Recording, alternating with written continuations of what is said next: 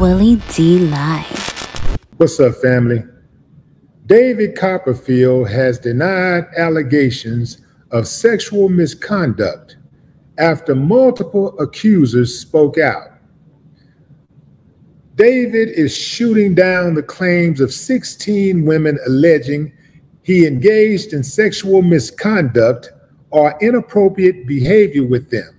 And he says law enforcement's already cleared his name. The UK Guardian's US Bureau detailed the allegations after an investigation, it says, found three women who've accused Copperfield of drugging them before engaging in a non consensual sexual activity with them. According to the report, four women accused him of groping or coercing them to touch him in a sexual manner during live performances on stage. Half of the allegations against Copperfield date back to the 1980s to 2014 and are from women claiming they were under the age of 18 at the time, with some insisting they were as young as 15 during these encounters with the illusionist. A rep for Copperfield has responded to the allegations, saying, Everyone that knows David Copperfield would tell you that these recent allegations from one newspaper are the exact opposite of who David is. In fact, David has a record of risking his career to help protect women from powerful predators. Most of these historic accusations have been made before, and all of them are as false now as they were then. David requested the evidence upon which these false allegations claim to rely, and this has not been provided. By contrast, whenever U.S. law enforcement has looked into such matters, they have been investigated thoroughly, and it has been found that there is simply no case to answer.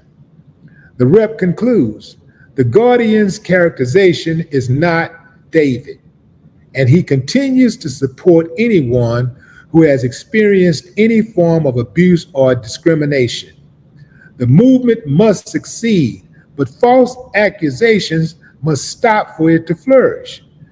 David will be considering the position with his legal team and will take such steps as may be appropriate over these false and scurrilous allegations. Copperfield has faced sexual misconduct allegations in the past. In 2018, he denied the claims, calling them fabricated, heinous acts, and a disservice to those truly affected by the Me Too movement. Question Y'all believe him? Y'all believe him? Now, before you answer, there was some allegations that David was hanging out with Epstein, doing magic being around women doing magic. I don't know if he made anybody disappear, but you know, he's a magician. You don't know, you know what I'm saying?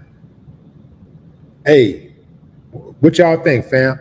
Uh, thumbs up if you believe David. Thumbs down if you say, nah, man, he wrong as two left shoes. Drop a comment, fam. I'd love to hear your thoughts.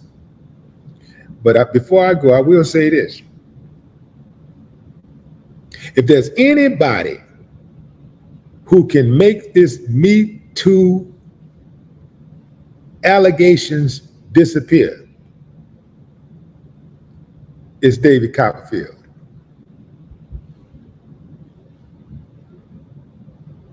No more talk.